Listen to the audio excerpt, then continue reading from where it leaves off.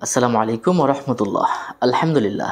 ওয়াসালাত আসসালামু আলা রসুলিল্লাহ। সুপ্রিয় সম্মানিত দর্শক শ্রোতা, আজ আপনাদেরকে জানাব কত টাকা আপনার কাছে থাকলে আপনাকে জা- উপর জাকাত ফরজ হবে। অর্থাৎ কতটুকু পরিমাণ টাকা আপনার হাতে থাকলে বা কতটুকু পরিমাণ সম্পদ আপনার হাতে থাকলে বা কতটুকু পরিমাণ স্বর্ণ বা রূপ্য আপনার হাতে থাক- থাকলে আপনার জাকাত ফরজ হয়।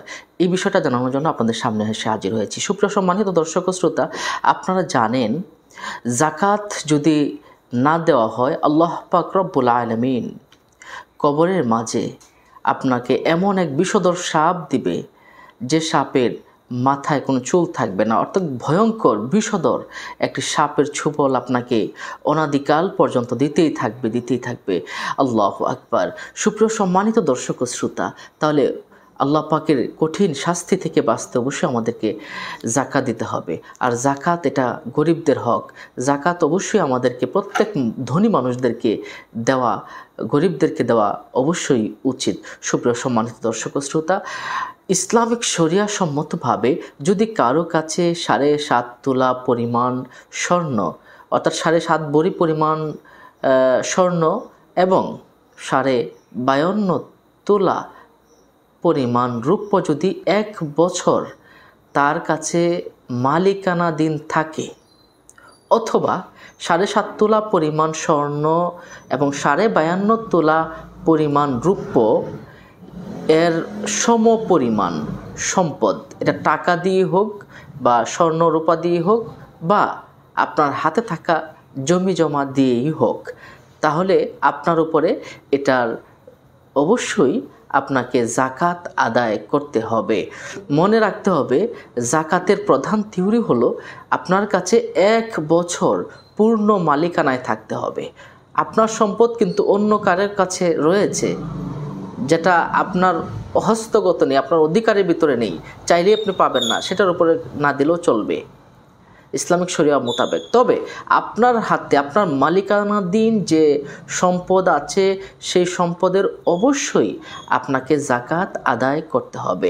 এই ক্ষেত্রেও বাসস্থানের জাকাত দিতে হবে না, নিজের ব্যবহৃত কোনো জিনিসের জাকাত দিতে হবে না। সুপ্রিয় সম্মানিত দর্শক শ্রোতা, তাহলে আমরা হিসাব করেছি, যদি রূপের বর্তমান বাজার মূল্য হলো আটশো টাকা ভরি। তো এভাবে আপনার সাড়ে বায়ান্ন তোলা ভরির দাম বিয়াল্লিশ হাজার টাকা আসে। তো সাড়ে বায়ান্ন তোলা রূপের পরিমাণ যদি বিয়াল্লিশ টাকা, বিয়াল্লিশ হাজার টাকা আসে, তাহলে অবশ্যই আপনাকে বিয়াল্লিশ হাজার টাকা যদি বা সমপরিমাণ টাকা যদি আপনার হাতে থাকে, অবশ্যই এটার আপনাকে জাকাত অবশ্যই আপনাকে দিতে হবে। এখন কথা হলো যে রূপ্য সাড়ে বিয়াল্লিশ হাজার যদি থাকে, তাহলে কত টাকা আপনাকে দিতে হবে? শতকরা আড়াই টাকা হারে আপনার জাকাত আসে এক হাজার পঞ্চাশ টাকা। সুপ্রিয় সম্মানিত দর্শক শ্রোতা, তাহলে বিয়াল্লিশ হাজার টাকা যদি আপনার হাতে এক বছর থাকে, তাহলে আপনাকে দিতে হবে এক হাজার পঞ্চাশ টাকা পরিমাণ আপনাকে জাকাত দিতে হবে। এছাড়াও আপনার স্বর্ণ যদি আপনার থাকে বর্তমানে, আপনার স্বর্ণের বাজার মূল্য উনাশি হাজার টাকা। তাহলে এই দুই হাজার একুশ সালে, সুতরাং আপনাকে যদি স্বর্ণের পরিমাণ দেন, তাহলেও আপনাকে জাকা দিতে হবে। তাহলে আপনাকে এক লাখে কত টাকা জাকা দিতে হবে? শতকরা আড়াই টাকা হারে এক লাখে আপনার জাকাত আসবে পঁচিশশো টাকা। এভাবে আপনার যদি দুই লাখ থাকে, পাঁচ হাজার টাকা। তিন লাখ থাকলে এভাবে আড়াই হাজার টাকা যোগ হবে, চার লাখ থাকলে আরও আড়াই হাজার- টাকা যোগ হবে। এভাবে কত হবে সেটার উপরে আপনাকে অবশ্যই জাকাত আপনাকে প্রদান করতে হবে। যদি আপনি সঠিকভাবে জাকাত আপনি না দেন, অবশ্যই আপনি গুণাগার হবেন।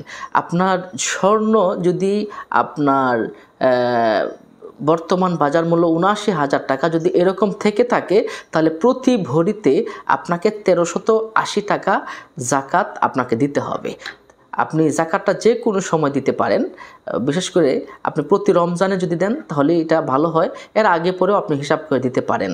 সাহাবাই কেরামগণ শাহবান মাসেই জাকাতের টাকা হিসাব করে গরিব দুঃখীকে দিয়ে দিতেন। জাকাত কাদেরকে দিবেন? এই বিষয়ে আটটি খাত রয়েছে, আপনারা জেনে নেবেন। গরিব দুঃখীকে আত্মীয় স্বজনকে দিতে পারেন। গরিব আত্মীয় স্বজন যারা আছে, তাদেরকেও আপনি জাকাত দিতে পারেন। সুপ্রিয় সম্মানিত দর্শক শ্রোতা, আশা করি আপনারা প্রত্যেকের জাকাত আপনারা নিজের উদ্যোগে সঠিক সময়ে আপনারা জাকাত দিবেন। আল্লাহর আজাব থেকে রক্ষা পাওয়ার জন্য। আল্লাহ আমাদের তৌফিক দান করুন, আমিন। আসসালামু আলাইকুম রহমতুল্লাহ।